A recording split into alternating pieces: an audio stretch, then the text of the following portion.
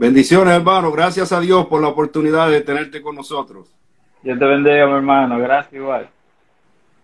Gracias, gracias por el apoyo, gracias por la confianza y gracias por estar con nosotros. Siempre, siempre, siempre a la orden, hermano mío. Saludos. Eh, Saludos, ¿cómo le va? Estamos bien. ¿Y la familia? ¿Todo bien? Ah, bien, gracias a Dios. Me alegro, me alegro. Eh, la gente quiere saber de Pedro López, eh, su trayectoria, eh, dónde y cuándo nace Pedro López. Eh, yo nazco en Moca, 28 de abril del 84. Eh, nací en el hospital, en el hospital Toribio en Cosme, creo. Soy criado, vine de un, de un barrio que se llama La Española. Después me he criado aquí en el José Horacio, en Moca. Y un tiempo viví en la José Contreras, donde vivía la madre de mi padre. Eh, eres el orgullo de Moca, sabía que, eh, porque tú lo dices como en voz baja y ese tipo de cosas, no hay que sentirse orgulloso porque lograr lo que tú lograste, no todo el mundo, mucha gente se queda en el camino.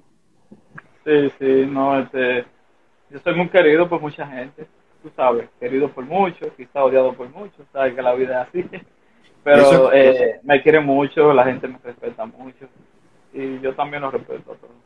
Según veo tu forma, tu humildad dice mucho de ti. Eh, hay muchas cosas escritas de ti en las redes sociales. Gracias, gracias, eso, gracias a Dios. Gracias a Dios. Primero te voy a hacer una pregunta. ¿Qué se siente haber jugado para Osi Guillén? Wow.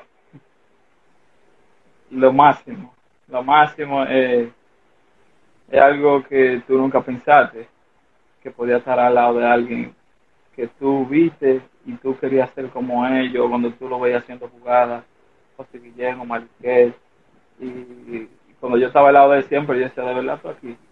Pero eh, son cosas que tú te vas a encontrar en tu carrera, en el camino, personas que tú viste jugar y te lo vas a encontrar como coach o manager o, o diferentes formas. Pero fue algo muy valioso para mí.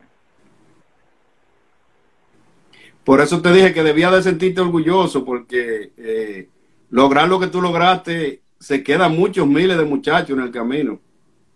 Sí, sí. Es duro, es duro y, y, y lograr el objetivo de, de uno llegar a Grande Liga hay que tirar para adelante, hay que trabajar duro. Se está frizando un poquito el internet. Veo como que eso es un problema mundial. No sé si tú lo estás notando, pero se nos está frizando un poco.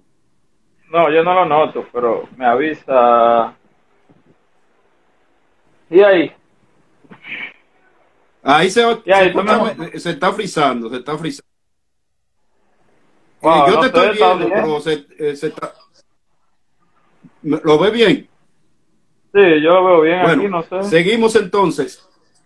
Ok, saludos Michael Martínez, la pelusa, cariñosamente la pelusa, hermano. Saludos. La pelu, Ramírez, de los saludos, míos. hermano. Pelusa es mío, Pelusa están enviando saludos esos muchachos ya por ahí. es mi hermano, Eh, la Pelu.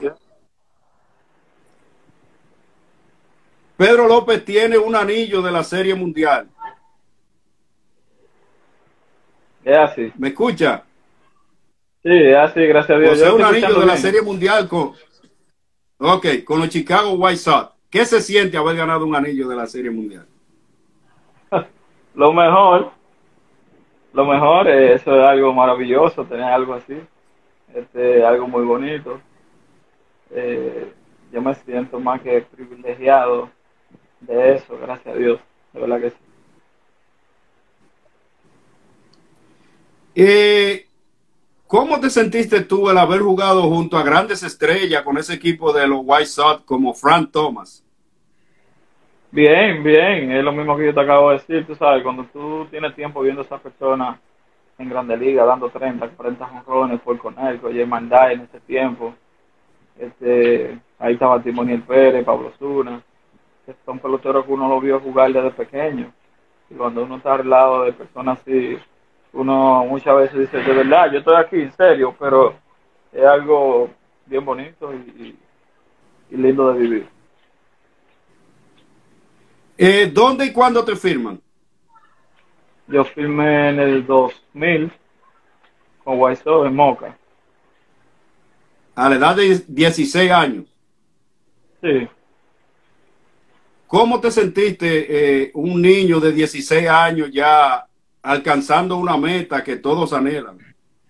Bien, bien, contento. E, eso es algo que cuando uno lo logra, eso es mejor que sacarse la lotería, como dicen. Porque es un anhelo, tú sabes, algo que todo el mundo anhela. Cada niño que está en una liga deportiva, si llega o logra firmar, eso es lo que anhela todo el mundo que juega deporte, sea basquetbol, fútbol, lo que sea y para mí eso fue lo último en ese momento, fue algo maravilloso. ¿Jugó Pedro López Liga de Verano en la República Dominicana? No. No, gracias a Dios, no. Eso dice mucho, ese jovencito que sale de Moca, eso quiere decir que había, había un talento súper especial. Sí, sí, de verdad había algo, hay muchas cosas buenas. ¿Dónde te envía el equipo? yo fui a Sprint Train ese año, 2001, eh, con el objetivo de, ir y regresar. Pero eh, me fue bien, me fue muy bien en el Sprint Train y tomaron la decisión de dejarme en extende dos meses más. Y fue un error porque le batí tres, tres y con la rookie y de ahí para allá seguimos metiendo manos. Sí, de 312, por ahí más o menos. Eh, ¿Te enviaron a Arizona? Sí, Arizona. Cuéntanos ese proceso, por favor. De llega de República Dominicana, jovencito, Estados Unidos. Sí, es un proceso, eh, vamos a poner difícil al principio, eh, como todo dominicano que llega a Estados Unidos sin saber inglés, sin saber lo que se hace con 10 dólares ni 5 dólares. Ahora es fácil, ya la gente, a todo el mundo le envían, ya la gente sabe cuánto cuesta un dólar, qué se compra, que no se compra porque uno pregunta, pero hablando de 20 años atrás, las cosas no eran iguales, el dólar estaba a 16 en ese tiempo, 15, 13, qué sé yo. Pero era difícil al principio, muy difícil. Después empezaron a llegar muchos latinos, eso tenía muchos latinos en ese entonces. Y en, la, en el área de lo que era la comida, del idioma, se hablaba más español que inglés, porque Arizona al principio era una ciudad que estaba creciendo en, eso, en ese tiempo y se hablaba muchísimo español. Pero después se me puso un poquito más difícil los niveles que iba subiendo, clase ya cuando empecé la fuerte y toda esa cosa, el inglés se me fue poniendo un poquito corto y hubo que, tratar de mejorar. Sí. Eh, ¿Quién te hacía más falta cuando llegaste a Estados Unidos de tus familiares? Mi mamá. Sí, mi mamá, mi papá también, pero eh, el amor de madre único. Tú sabes, un amor muy especial mi papá también lo ha hecho, pero las madres siempre están ahí, siempre están ahí la madre. ¿Te hacía falta el sazón de la doña? Sí, sí. Ay, es primera vez, yo nunca, eh, fue mi primer trayado, mi primer equipo, nunca hice trayado en ningún lado, nunca salía. Y filmarme mandarme para Estados Unidos, o sea, fue muy difícil para mí. Y, yo tenía que durar más meses que todo el mundo, me mandaban a la institucional, yo venía, duraba una semana, me iba. Al principio, pero después uno se acostumbra y yo me acostumbré. Eh, ¿Qué scout te firma y cuánto fue el bono? Mi papá, Denio González, me firmó a mí. Este, el bono fue de 10 mil dólares. Denio González. Yo imagino que si hubiese sido en este tiempo, con lo que tú me acabas de decir, que no jugaste ni siquiera verano, ya visto que buscamos un camión. Sí, sí, sí. Sí, porque ahora eh, no es más fácil. ¿Tú me entiendes? Ahora están exigiendo muchas cosas. En aquel tiempo firmaban muchos peloteros por habilidades. Tú sabes, pero en ese tiempo, cuando tú coges un buen bono, tienes que correr, tienes que ser un buen bateador. Son muchos procesos que hay que pasar ahora mismo. Pasar la computadora, pasar el sistema, un montón de cosas. Pero tú tenías muchas habilidades en cuanto al béisbol se refiere. Sí, demasiadas. ¿Podría contarnos el proceso, cómo fue eh, llegar, empezar a jugar en la rookie, luego clase A, luego fuiste escalando, si te recuerdas, por favor? Eh, eso fue un proceso, como te dije al principio, era un poquito difícil, después se me hizo un poquito fácil, la llegada de muchos latinos. Este, en Arizona, tú sabes que Arizona es un lugar caliente. Eh, antes no hacía fácil, nosotros teníamos dormitorio, antes no daban dormitorio donde estar. Tú sabes, ahora mayormente los muchachos tienen que pagar su dormitorio, y algunos le quedan lejos, algunos le quedan medio separados. Pero siempre en los tiempos míos, cuando yo jugué rookie, nos quedábamos todos en un mismo complejo, como un apartamento. Después de ahí, de las rookies que yo jugué en Arizona, jugué en Bristol, eso está en Virginia, por ahí por... Wow. Bueno, en Bristol, eso está por... Ahí están los Mets también, ahí está Kingsport. Está por Virginia, por ahí West Virginia, creo que. Eh, después de ahí pasé a Canápolis, en North Carolina, la clase media. Entonces ese mismo año de la clase media me subieron para la fuerte, en el 2003.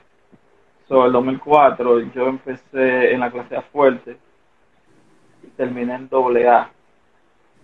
Entonces de doble A, el siguiente año yo pensé que iba a doble A.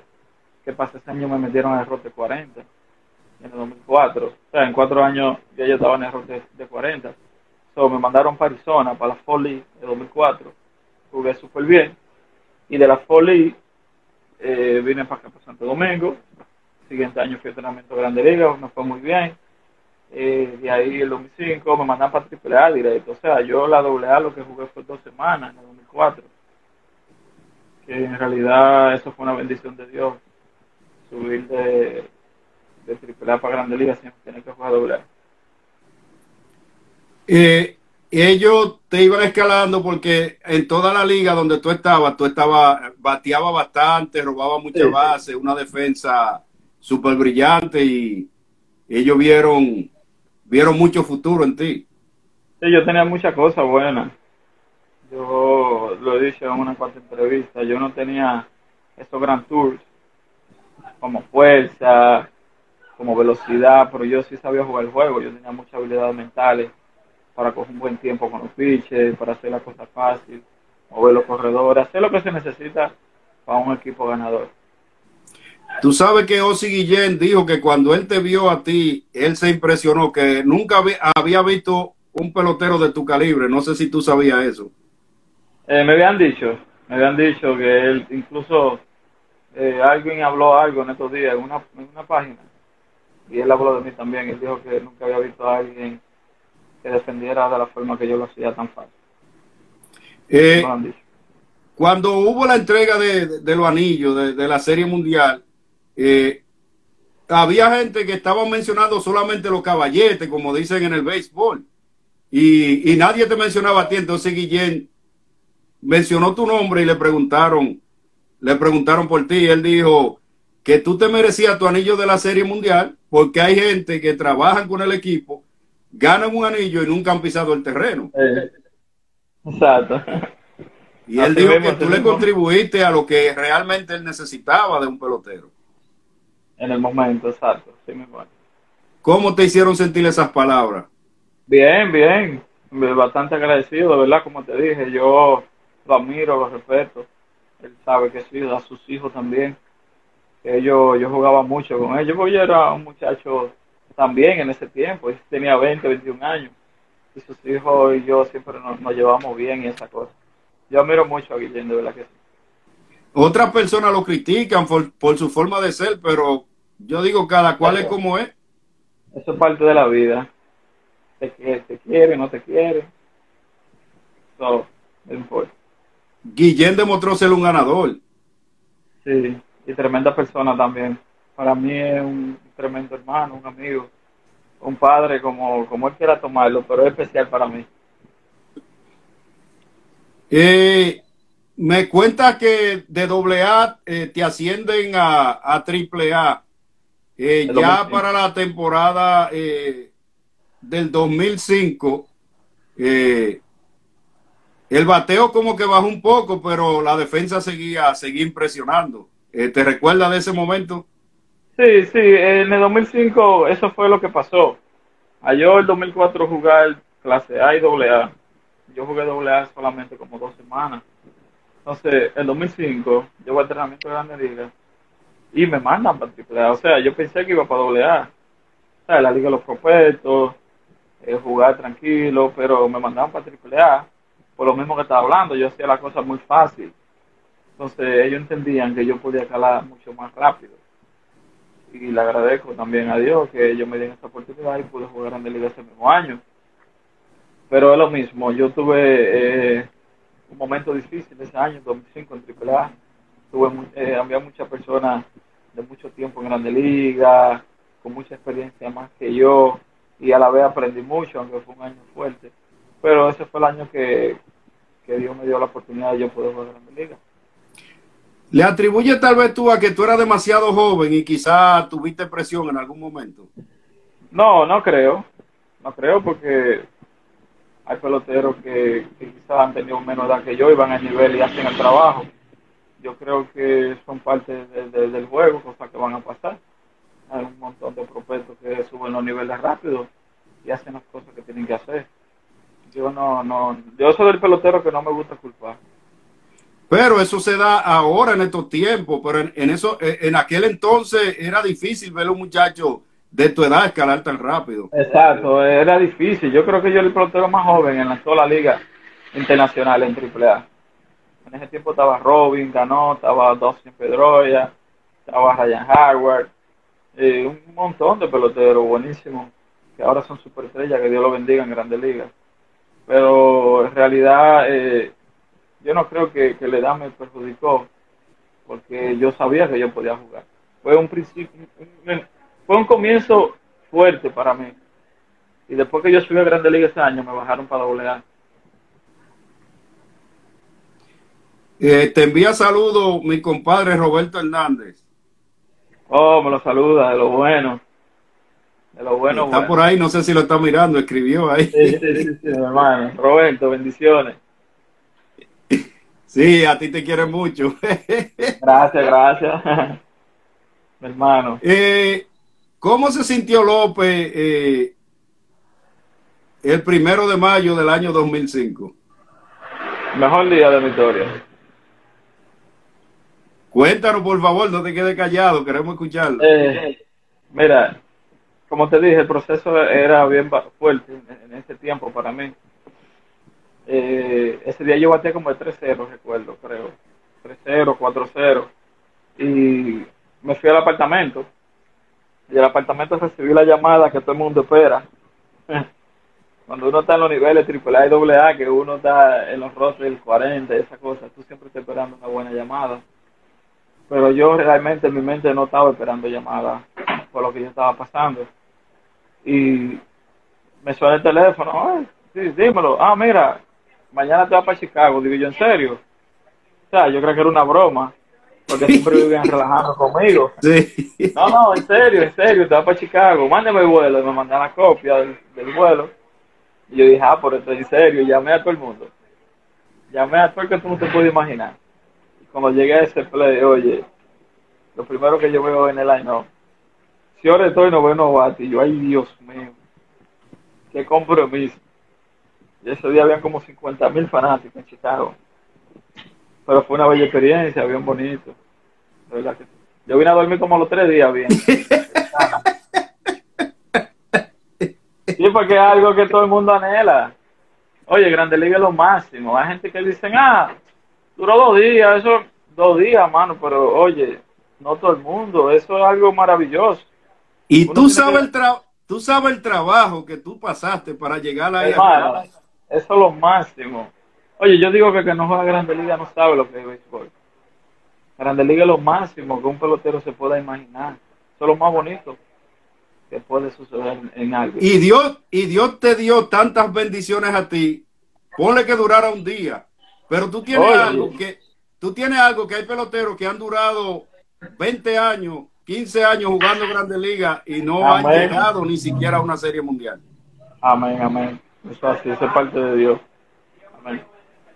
Disculpa que yo diga esto porque según yo tengo entendido, a ti no te gusta ni siquiera hablar de esas cosas, de que tú tienes un anillo de serie mundial y ese tipo de cosas. pero, es, bueno, es bueno que la juventud lo sepa. Sí, sí, gracias. ¿Podría explicar a la juventud que va a ver estos videos, porque nosotros lo subimos esta entrevista a nuestro canal de YouTube de Béisbol Caliente RD, ¿podría eh, explicar Pedro López a la juventud que nos va a ver eh, en YouTube ¿qué se siente llegar a la Grandes Ligas después de tanto trabajo? Eh, wow, es lo que te digo, es algo como que tú te sientas y dices, gloria a Dios. Gracias, Señor. Y lo, hice realidad. O sea, se hizo realidad. Porque es un día a día. El gol de que tú llegas a Estados Unidos, tu enfoque y tu meta es jugar Grande Liga. O sea, tú juegas diario, tú juegas todos los días, pero tú juegas con un motivo. O sea, yo estoy en la rookie, yo tengo que meter mano porque yo quiero ir para clase A. Porque es que tú tienes pelotero detrás de ti esperando que tú falles, o un jefe esperando que, que todo el que le vaya mal ahí, lamentablemente, hay que limpiarle, es un negocio, obvio. Pero, wow, si la juventud supiera lo maravilloso y, y lo bonito que, es estar en ese negocio y mantenerse. ¿Sabes por qué yo lo digo? Porque yo veo muchos muchachos hoy en día que quieren lograrlo, que quieren filmar, pero antes de ellos filmar ya están pensando en cosas que aún todavía no han podido lograrlo. No sé si tú me estás entendiendo. ¿Tú me entiendes? Te entiendo perfectamente. Yo lo veo y de la forma que ellos lo hacen, es lógico que uno entienda, sin uno quizá preguntarle o hablarlo, pero si los muchachos supieran de verdad lo bello y lo maravilloso que es este deporte, aprovecharan cada día y cada momento. Yo quisiera volver otra vez a filmar de verdad, volver para atrás, tener 18. Porque mira, esto es lo más bonito que, de verdad, la verdad, lo más bello que, que, puede existir de Tú todavía te ves bastante joven. Eh, te, eh, te voy a preguntar, ¿qué pasó con Pedro López? ¿Las lesiones eh, fueron el motivo por el cual tú tuviste que dejar tu carrera? Si te digo, yo siempre jugué con lesiones. El pelotero el pelotero pelotero siempre juega con dolor. No hay un pelotero que diga yo jugué saludable toda mi carrera. Algo hay. Te duele un diente, un brazo, te duele una oreja. Yo eh, batallé con mi hombro desde el principio de mi carrera. No era que pasaba la temporada malo, pero sí siempre tenía mi cosita en el hombro. Después llegó un tiempo que me molestaban las rodillas un tiempecito me molestaban las rodillas, yo no era muy trabajador para fortalecer el área que debía de fortalecerla. Y yo siempre jugué con dolor. Eh, yo no creo que las lesiones eh, me impidieron seguir jugando. Yo creía que podía jugar unos cuantos años más, pero decisiones personales, familiares, eh, se me abrieron la puerta como coach en el acogido, a quien yo le agradezco mucho eh, recibí esa llamada ese día, yo tenía ya tiempo preparado para eso, porque yo sabía que venían muchos muchachos jóvenes, nosotros, la organización de nosotros en el recogido tenemos un buen futuro, tenemos muchos muchachos de proyecciones, un buen talento, so, había que abrirle la puerta a los demás muchachos, y yo acepté, yo acepté la propuesta, yo sé que es una nueva etapa, una nueva carrera y estamos aprendiendo con Dios delante. Eh, luego de la organización, los White Sox de Chicago, eh, el 21 de mayo, eh, te reclamó los Cincinnati, los Rojos de Cincinnati. ¿Cómo fue esa experiencia para ti, cambiar de equipo? Bien, ya en esos tiempos ya tu mentalidad va cambiando, tu mentalidad entiende que son 30 equipos, tu mentalidad, tú como profesional sabes que tú juegas duro y tú no sabes para quién estás jugando, porque en todos los niveles hay muchísimo caos, especialmente en Estados Unidos, tú no sabes quién te está viendo, tienes que entrar corriendo, salir corriendo. Y se me abrió la puerta de ese equipo, yo recuerdo yo estaba en Toledo, en AAA, y recibí una llamada como a las seis pico de la mañana. Me llamó la secretaria de Chicago, y me dice, mira, eh, nosotros decidimos hacerlo así, ponerte en web, tienes que esperar hasta las 4 de la tarde. Después yo recibí llamado del abogado. Eh, nadie sabía en el play, nadie sabía eso, ni el manager. Fue algo totalmente impresionante. Ese año yo tenía, yo tuve una tremenda temporada en AAA. Yo batí, eh, después que me mandaron para pa Louisville, AAA Cincinnati, yo batí como 360 en AAA ese año cuando ellos me llaman para Grande Liga. Entonces yo esperé, porque el gerente, el jefe de Liga Menores de ellos me dijo que tenía que esperar si me enviaban a Grande Liga, directamente de, de Toledo, donde estaba Triple A de Detroit, o tenía que ir para Triple A. So, yo viajé de Toledo, de Detroit, Michigan, yo viajé para Charlotte y recogí la ropa y de ahí como al otro día volé para Lucho, para Triple A. Eh, en ese tiempo, eh, tú estabas jugando eh, para la organización de Chicago en contra de la AAA de, de Detroit. Sí, no, nosotros estábamos en Columbus, en el estadio viejo. Y Sí, de tú- Columbus, Tú me dices Toledo, Toledo es la AAA de Detroit. de Detroit, exacto. Pero estábamos en Columbus esa noche. Y de ahí viajamos a Toledo, que es como dos horas, más Sí. o menos. So, de ahí jugamos un juego en Toledo y eso sucedió la noche. Eh, ¿Cómo fue tu, tu paso por la organización de los Cincinnati Reds, los Rojos de Cincinnati? ¿Cómo te sentiste? eh, la adaptación de una liga a otra, diferente equipo. Eh, Bien, bien, porque tú sabes que, como yo te iba diciendo, ya el tiempo, ya yo tenía cuatro años en AAA, yo jugué AAA 5, 6, 7, ya ese iba a ser mi, mi cuarto año en AAA, y la amistad que tú haces con diferentes equipos, los muchachos, los peloteros, so, fácil. En ese tiempo estaba Edwin ahí haciendo rehab, canción, y, y, fue fácil, se me hizo fácil seguir compartiendo con ellos, hablando, el manager, ya yo lo había visto en contra. Y es lo que te digo, ya tú vas creando amistades en los diferentes equipos. Cuando tú llegas a un lugar, se te hace más fácil. Ahí habían también unos cuantos latinos. Pero esa ciudad es una ciudad muy bonita. Louisville, Kentucky. Muy linda, de verdad que sí. ¿Compartiste con Edwin Encarnación en ese momento? Sí, estábamos juntos en Grande Liga. Edwin es alguien especial para mí. Su mamá, su papá, que descanse en paz, fueron personas muy importantes en mi vida. Y yo le agradezco muchísimo a ellos, de verdad que sí. Compartimos juntos, vivimos juntos. Y tremenda persona, Edwin. Eh, luego de tu paso por ah, los Rojos de Cincinnati, eh, firma con los, o sea, los Azulejos de Toronto te reclamaron, pasa a esa organización. Eh, ¿Cómo te adaptaste a ese nuevo equipo?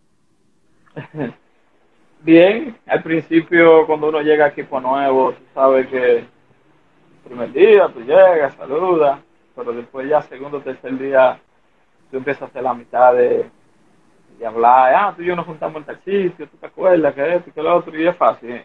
En el béisbol no, no hay mucha vuelta de que de, ya el otro día tú estás involucrado, como dicen, ya, ya los cuatro o cinco días porque tú te impuesto a verlos a gente. ¿Tú me entiendes? Empieza a hacer diferentes conversaciones, cosas buenas y positivas. ¿Con cuáles peloteros que tú recuerdes compartiste en los Azulejos de Toronto? Oh, yo estaba con el Tolura, eh, Robinson Díaz, eh, también compartí mucho con Aaron Lynn, el bateador zurdo, ¿te acuerdas? Lynn, que jugaba primera base con, con los Blue Jays, que después pasó a Seattle y, y, y de lado. Este, ¿Qué más? Unos cuantos muchachos, la mayoría eran gringos, casi todos allá. En el tiempo que yo jugué ahí en Por cierto, que es raro que Toluna no está, no está en el live, él te envió saludos ahorita. Ah, ese es mi hermano. Mi hermano, mi hermano. Sí. Eh, tu desempeño en los Azulejos de Toronto, eh, ¿cómo fue? Perdón, repito la pregunta. Tu desempeño en esa organización de los Azulejos de Toronto, ¿cómo, cómo fue? ¿Cómo, Bien. cómo te fue? Bien, yo jugué bien.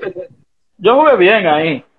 Yo jugué muy bien ahí en Toronto. Yo, incluso, eh, fue un tremendo año mío ahí. Quizás en, en número no lo suficiente. Yo, en alguna ocasión yo tenía molestia en el hombro. Y yo me acosté una noche, recuerdo.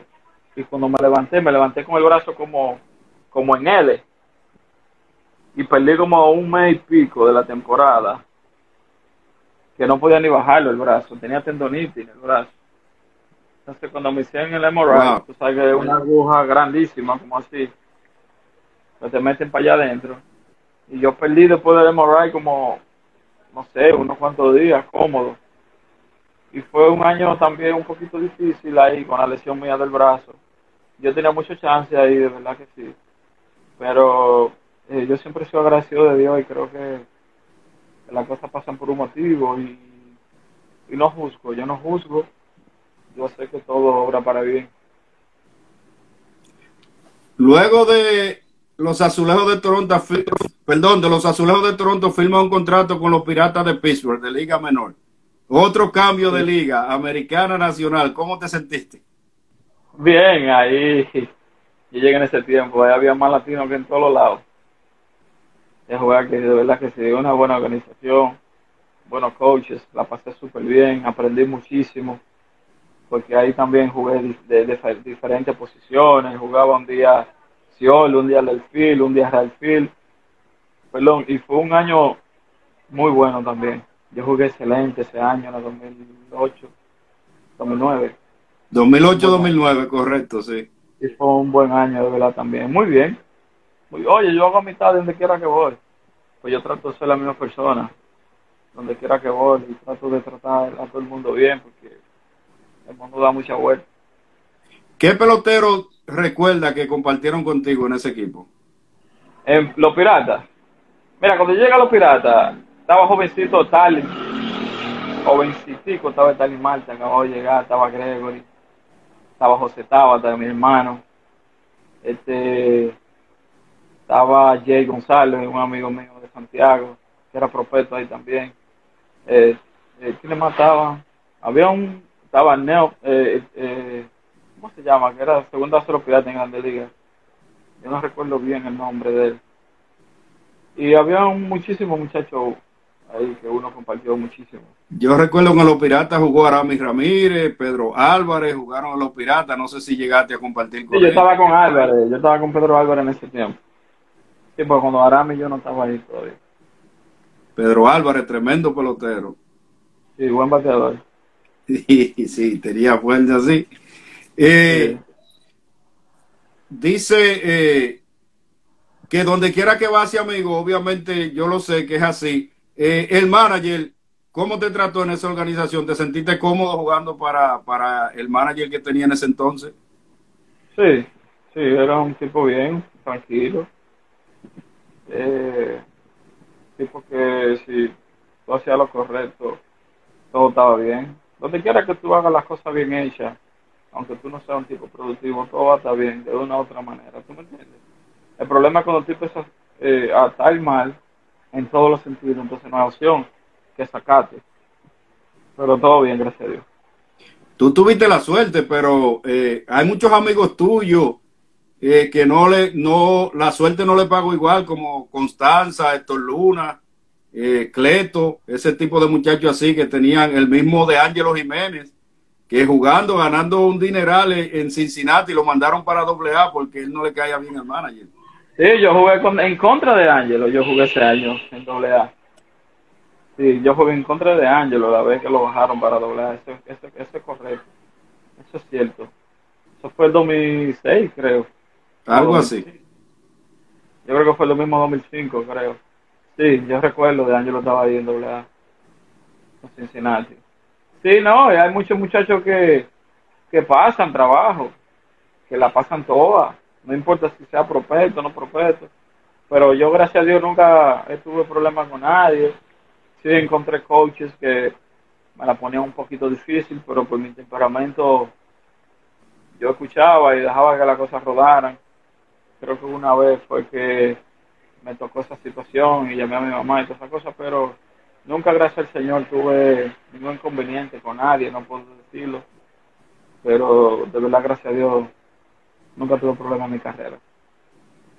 Eh, eh, otro muchacho también que, bueno, da la casualidad que con los piratas, él, él estaba ya sano, lo mandaron a rehabilitarse. Anderson Hernández estaba llevando una buena temporada y, el manager de la Liga Menores no lo dejó pasar hasta que lo dejaron libre también. O sea, que hay una serie de muchachos, eh, han contado su historia. Te, te hablo de esto porque yo quiero que tú cuentes tu historia para cuando esta entrevista esté en nuestro canal de YouTube, la juventud sepa que no es fácil. O sea, cuando, cuando empezamos la, la entrevista, tú hablaste un poquito bajito porque tú vienes de un campo de moca y ese tipo de cosas. Otros dicen que jugaste un día en Grandes Ligas, pero dile tú a la juventud que no es fácil, pero querer es poder. Sí, no, no es fácil. Eh, eh, cada quien eh, le va a dar un trato diferente. ¿Tú me entiendes? A cada quien va a encontrar personas que se la van a poner en China, como dicen. Otros van a tener la, la oportunidad de no tener problemas con nadie en su carrera. ¿Tú me entiendes? Pero no es fácil, le pasa mucho trabajo que yo no lo he tenido el, el, problema con nadie. Bueno, gloria a Dios, tú sabes. Eso es parte del proceso también. Pero sí se pasa mucho trabajo y ellos lo saben. La juventud lo sabe porque todo el mundo lo dice. ¿Tú me entiendes? Gente que tiene más tiempo que yo en Grande Liga, que son caballos, lo han dicho también, que han pasado mucho trabajo. Que yo no lo haya pasado así de la forma que he tenido problemas con coches o otra cosa diferente, no significa que, que no lo han pasado, que él no se va a pasar trabajo. Gloria a Dios. Eso es así. Luego de tu paso por la organización de los piratas, firma con los nacionales de Washington. ¿Podría contarnos ese otro proceso en tu carrera? Bien. Bien. Este, yo empecé ahí en AA con Washington. O sea, algo que me sorprendió después de tanto tiempo ya, pero a veces tú no, no puedes controlar. Tú tienes que controlar lo que tú puedes hacer, no lo que el otro tiene en mente. So, yo fui un tiempo allá a doble A, como un mes, mes y medio, dos meses, creo, menos. Ellos tenían unos prospectos ahí, David Espinosa, sobre todo. Ese fue el año que firmaron a Strasbourg, el pitcher. Eh, yo viví esos buenos momentos, donde quiera que ese muchacho iba a pichar. Sí. Ya tú sabes. Eso era récord de, de fanático. Sí. Ahora yo estaba, me reía cada vez que iba a pichar en mi rol y me daban. Era 100, mi hermano, oiga, eso es, algo histórico, desde el primer inning hasta que se apiaba. Si eran 6 innings, eran 100, eh, lo más bajito era 98, 99, 97, 100, 101. Eso era algo increíble. Y 1500 periodistas donde quiera que iba a pichar. Sí, entonces, hasta en el hotel. En el hotel era un problema también. ¿Me entiendes? El hotel para ese tipo entrar era un lío, un lío. Porque en el tipo un fenómeno. El tipo es un fenómeno, óigame. Cuando ese tipo soltaba la pelota, la bola sonaba. De verdad que sí, yo nunca había visto algo así. Entonces una curva 360, sí. Eso era algo fenomenal. Él, él vino a Cleveland una vez y hay un ser humano el cual yo quiero mucho, que lamentablemente ya no está con nosotros, mi compadre Andy Marte, se enfrentó a él y me dijo que él no vio la bola cuando ese hombre le picha. No, no, te estoy hablando, el tipo, el tipo era difícil, muy difícil el tipo, y ahora está el más difícil todavía, porque ya aprendió a pichar. Yo lo vi aquí en Grandes Ligas, yo sé exactamente lo que tú dices. ¿Cómo te sentiste tú eh, hiciste tu sueño realidad. Eh, jugaste Grandes Ligas, tiene un anillo de serie mundial. Eh, ¿Qué experiencia tú le puedes pasar a un ser humano que tú quieres mucho, que tengo entendido que tiene un hijo, que está jugando béisbol igual que tú? ¿Qué consejo le das tú a tu hijo de cómo jugar el béisbol? En disciplina, eh, en comportamiento, en todo en general. Bueno, mi hijo sabe que yo día a día vivo encima de él, tratando de hablarle lo mejor, tratarle de ser honesto y decirle las cosas como son. Porque déjame decirte algo, en este, en este negocio hay algo muy importante, que tú como pelotero, si no reconoces las cosas malas y negativas, tú no vas a progresar. O sea, esto es un negocio que todos los días tú tienes que ir eliminando lo poquito negativo para tú poder avanzar, porque este es un juego que se falla más de lo que tú haces. O sea, este, este deporte, si tú coges mi turno y fallas 700 veces y das 300 y tú vas a 300. Correcto. ¿Me entiendes? O sea, 100 turnos, 30 hits. O sea, tú fallas más, tú estás por encima de un 70% de fallar que de hacerlo bueno. So, yo siempre vivo encima de él diciéndole que tienen que trabajar. La clave para tú lograr todo en esto, el trabajo, la humildad, la honestidad, eh, el enfoque. Y él sabe que siempre yo le voy a decir lo mismo, trabaja duro. Diario, mañana, día, noche, trabaja duro. Dios te dio la habilidad, Dios te dio el talento, pero tiene que trabajar. Y él sabe que lo amo y lo adoro, que era mi vida.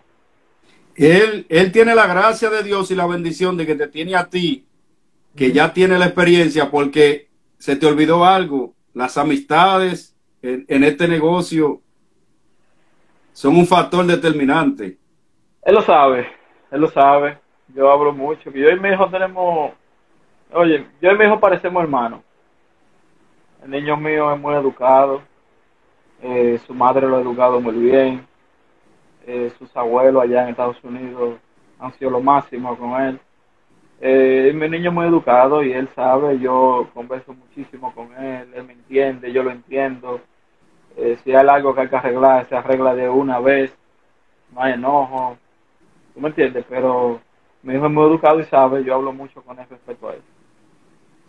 Eh, ¿Cómo lo ves tú eh, desde el lado de, de, tu experiencia como beisbolista de grandes ligas?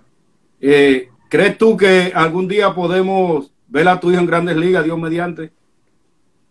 Eh, esa pregunta me la han hecho muchísimas personas. en live, periodistas, amigos. Eh, yo escucho mucho lo que dicen mis amistades, que lo han visto practicando, que lo han visto jugando.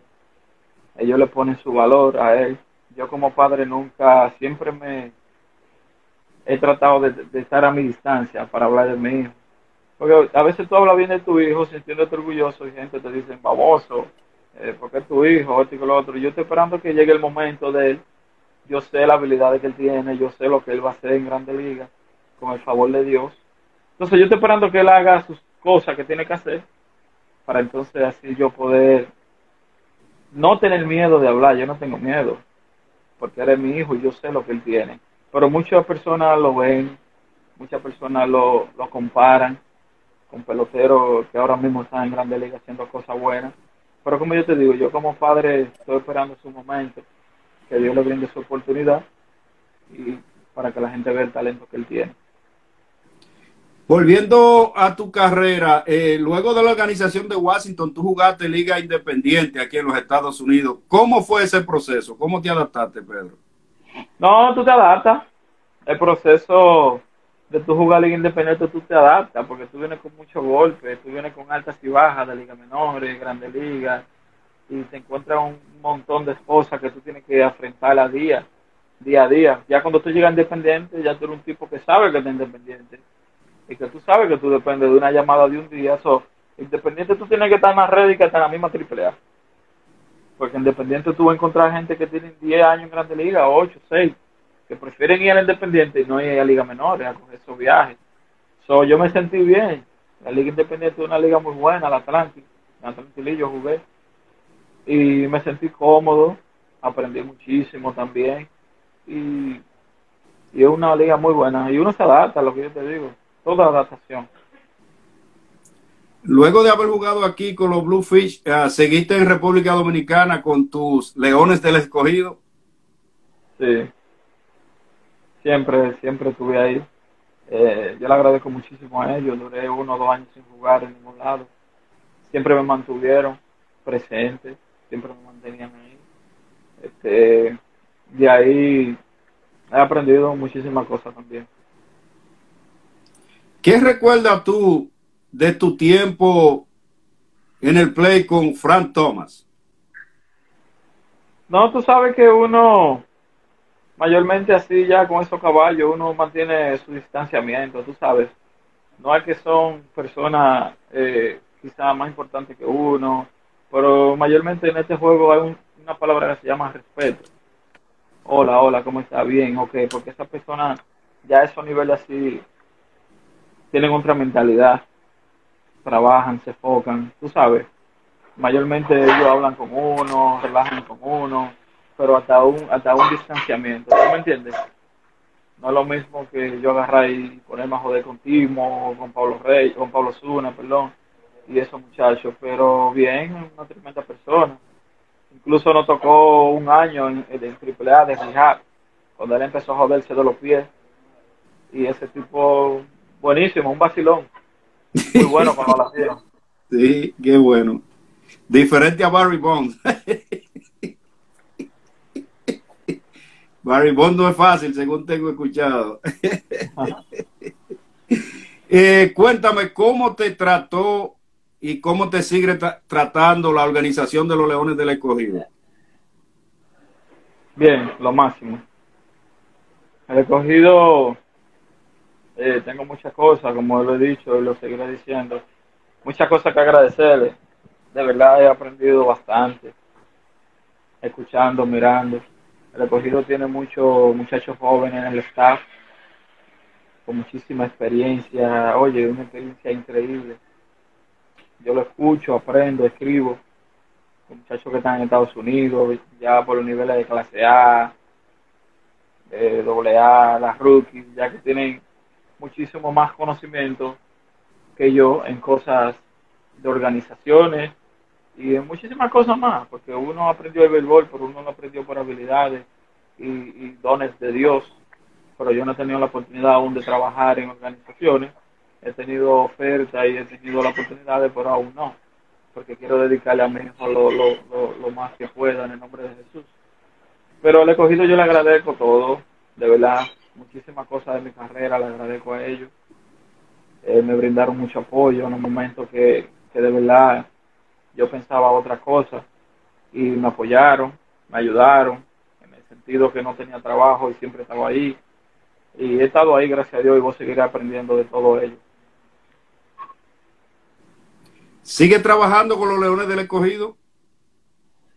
Sí, gracias a Dios estamos ahí, estamos fajados, eh, esperando con Dios delante, el 30 de octubre.